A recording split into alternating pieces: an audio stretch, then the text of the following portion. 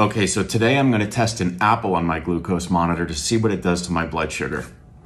This is a Honeycrisp apple, which is my favorite. They're really sweet and delicious. There's a lot of fiber in apples, so I'm curious to see what this is going to do to my blood sugar. Okay, so it's been about two and a half hours since I've eaten the apple, and let's have a look at the glucose monitor reading here.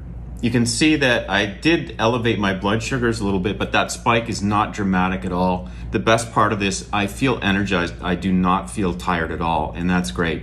Although apples do have quite a bit of sugar, they also have a lot of fiber and good nutrients in there as well. So I think it's a good choice. However, if I did want to slow down the digestion of this apple, I could have added some fats and proteins in with this, like some unsweetened almond butter or peanut butter. But overall, I think apples are a great choice for me because they give me a lot of energy, sustained energy, which is good. If you're diabetic or pre diabetic, you may want to test these fruits out to see how you react to them personally. Stay tuned for more.